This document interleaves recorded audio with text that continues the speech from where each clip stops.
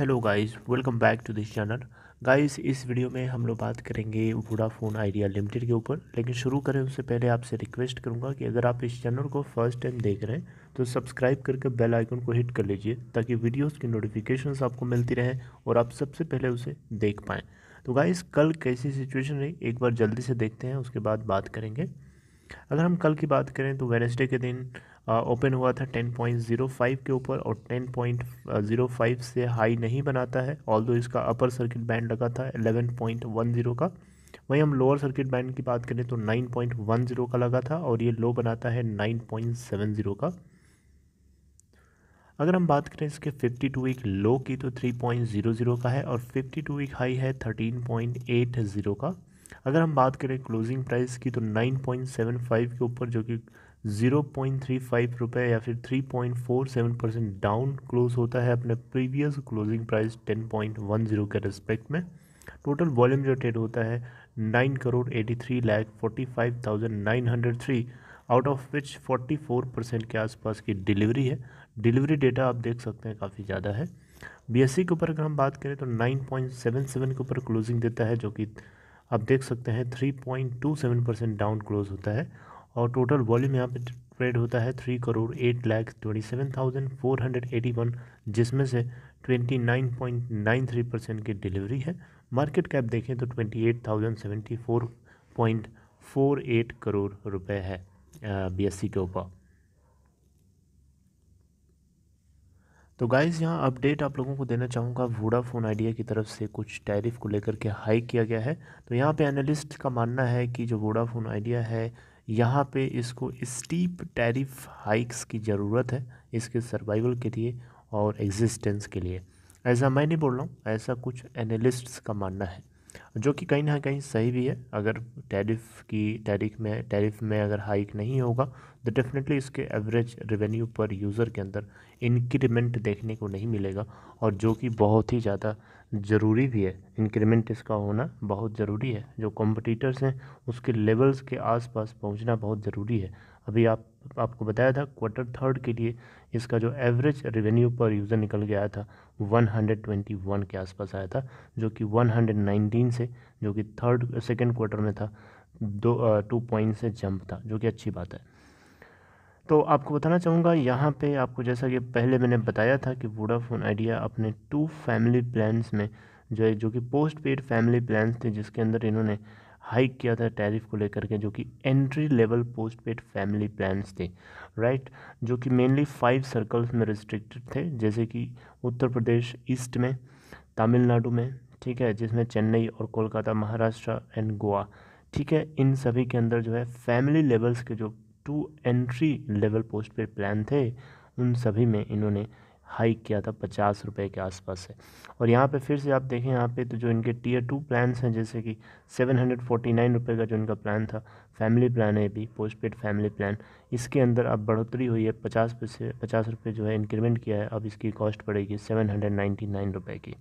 इसके अलावा अगर आप देखें, यहाँ पे तो इनकी एक पोस्ट पेड फैमिली प्लान है फाइव नाइन्टी एट की जो कि बढ़ करके सिक्स हंड्रेड फोर्टी नाइन रुपये कर दी गई है। राइट तो ये पचास रुपये का जो इंक्रीमेंट हुआ है ये एक तरीके से एक एक एक हिट एंड ट्रायल है। आप एक तरीके से बोल सकते हो कि वोडाफोन आइडिया ने एक तरीके से टैरिफ हाइक में शुरुआत किया अभी तक किसी भी ऑपरेटर के अंदर कि, किसी भी ऑपरेटर ने अभी टैरिफ में हाइक नहीं किया है इस कंपनी के अलावा राइट तो पहले भी इसने टैरिफ हाइक में शुरुआत करी थी और अब इस बार फिर से शुरू किया है।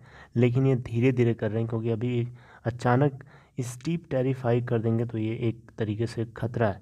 यहाँ पे क्लासा की तरफ़ से बात बताई गई कि लगभग सात से नौ परसेंट तक टैरिफ हाइक जो है टू एंट्री लेवल के लेवल प्लान्स में जो इन्होंने किया है, सात से नौ परसेंट की जो टैरिफ हाइक करी है, लगभग इससे इनके मार्जिनल इंक्रीज़ जो होगा उसमें वन परसेंट का हमें इंक्रीमेंट देखने को मिलेगा इनके रेवेन्यू रेवेन्यू में। बेसिकली इनका जो रेवेन्यू होगा उसके अंदर एक परसेंट का हमें मार्जिनल इंक्रीज़ देखने को मिलेगा।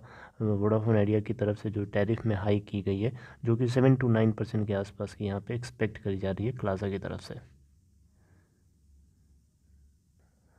यहाँ पे अगर आप देखें तो steep tariff hikes unlikely for Vodafone Idea sales analyst classic की तरफ़ से बात बताई जा रही है कि जो स्टीप हाइक है टैरिफ के अंदर वो थोड़ा सा अनलाइकली लग रहा है, क्योंकि यहाँ पे क्या है कि जो इंडिया के अंदर जो और दो मेजर ऑपरेटर्स हैं, जैसे कि भारतीय एयरटेल हो गया रिलायंस जियो हो गया, इनकी जो टैरिफ्स हैं, लगभग हम देखें तो ट्वेंटी जिसमें से भारतीय एयरटेल और वोडाफोन आइडिया की जो पोस्ट पेड टैरिफ्स हैं, उसमें हम लगभग पच्चीस परसेंट के आसपास आप देखेंगे तो प्रीमियम है, जबकि रिलायंस जियो के कंपेयर में। I mean to say that कि रिलायंस जियो से 25 परसेंट महँगे हैं इनके टैरिफ्स भारतीय एयरटेल एंड वोडाफोन आइडिया के। इस सिचुएशन में अगर वोडाफोन आइडिया अपने टैरिफ को और ज़्यादा स्टीपली हाइक करता है तो डेफिनेटली ये इस कंपनी के लिए अच्छा नहीं हो सकता है, क्योंकि यहाँ पे सिंगुलर इंक्रीमेंट नहीं चाहिए। तीनों के तीनों ऑपरेटर्स मिल करके जब तक इंक्रीमेंट नहीं करेंगे, तब तक जो है बात नहीं बनेगी। क्योंकि यहाँ पे आपको बताना चाहूँगा रिलायंस सिक्योरिटी जो कि आपको रिला, पता होगा रिलायंस कैपिटल लिमिटेड की एक ब्रोकिंग आर्म है। तो यहाँ पे इसने भी अपने पॉइंट ऑफ़ व्यू को रिपोर्ट करने की कोशिश करी है और यहाँ पे बताया जा रहा है कि जो जियो है गूगल के साथ आपको पता है पार्टनरशिप कर चुका है। तो पार्टनरशिप का मेन मकसद क्या है? गूगल के साथ उसकी पार्टनरशिप का मेन मकसद यही था कि वो सस्ते से सस्ता फ़ोन जो है मार्केट में लॉन्च करके ज़्यादा से ज़्यादा मार्केट का जो रेवेन्यू शेयर है, वो अपने हाथ में ले लेना।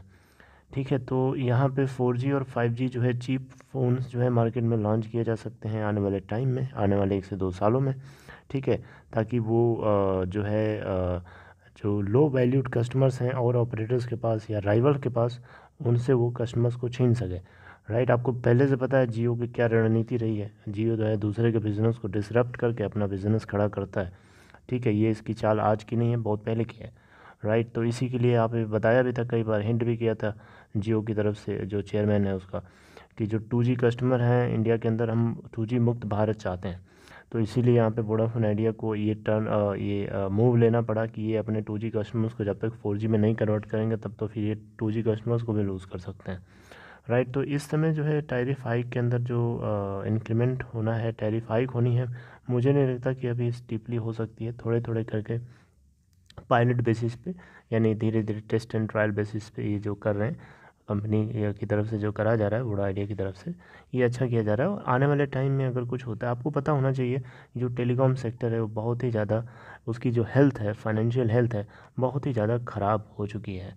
आपको पता है, भारत सरकार उसको सुधारने के चक्कर में नहीं है, क्योंकि भारत सरकार को पता है, जो उसका मेन ऑपरेटर है, वो अच्छे से कमा रहा है, बाकी मरे, कोई मतलब थोड़े उसे। ठीक है, लेकिन अगर हम न्यूट्रल होकर के सोचें, भारत सरकार को यहाँ पे न्यूट्रल होकर के सोचना चाहिए। भारत सरकार अगर न्यूट्रल होकर के सोचती और देखती तो उसको दिखता कि जो टेलीकॉम सेक्टर है, आज कितना फाइनेंशियली बुरे दौर से गुजर रहा है। टेलीकॉम सेक्टर को फाइनेंशियल हेल्थ की ज़रूरत फाइनेंशियली उसको हेल्दी बनाने की ज़रूरत है और हेल्दी बनाने के लिए डेफिनेटली टैरिफ को हाइक करना पड़ेगा और जो एडजस्टेड ग्रॉस रेवेन्यू का ऊपर से जो कर्जा डाल दिया गया इन कंपनीज़ के ऊपर, वो अपने आप में एक अलग तरीके से फाइनेंशियल हेल्थ को ख़राब करने के लिए पूरी तरीके से रिस्पॉन्सिबल है राइट right? तो यहाँ पे एनालिस्ट की तरफ़ से माना जा रहा है कि जो कैपिटल का इन्फ्यूजन है, वो उतना ज़्यादा वोडाफोन आइडिया को यू नो उतना ज़्यादा मदद नहीं करेगा, क्योंकि सबसे ज़्यादा यहाँ ज़रूरी है टैरिफ का हाइक होना और टैरिफ हाइक होने के साथ साथ कंपनी को फ़ंड की ज़रूरत है, फ़ंड ताकि ये अपने इंफ्रास्ट्रक्चर के ऊपर कैपिटल एक्सपेंडिचर जिसको हम कैपेक्स बोलते हैं, उसके अंदर इन्वेस्ट कर सकें ताकि ये अपने कस्टमर्स को बेस्ट क्वालिटी प्रोवाइड करें ताकि इनके और कस्टमर्स जो हैं जितने हैं उतने तो बने रहें और साथ साथ में और आएँ। और फंड के लिए आपको बताया था मैंने कंपनी की तरफ़ से जो ओक हिल एडवाइज़र है, इनसे बातचीत चल रही थी बेसिकली लेकिन जो है जो बाइंडिंग टर्म है, वो सेटिस्फाई नहीं हो पाया, जिसकी वजह से वो डील को हम कैंसिल होना मान सकते हैं। राइट लेकिन वोडाफोन आइडिया की तरफ़ से ये बात भी बताई गई थी कि ये मार्च के एंड होते होते कहीं ना कहीं से कोई ना कोई व्यवस्था करेंगे फ़ंड को रेस करने के लिए और किसी दूसरे सोर्स से ये बातचीत कर रहे हैं। और अभी तक उसके बारे में कोई अपडेट नहीं है, सब कुछ मामला जो है पब्लिक डोमेन में नहीं है। अब देखते हैं आगे क्या सिचुएशन इमर्ज होती है।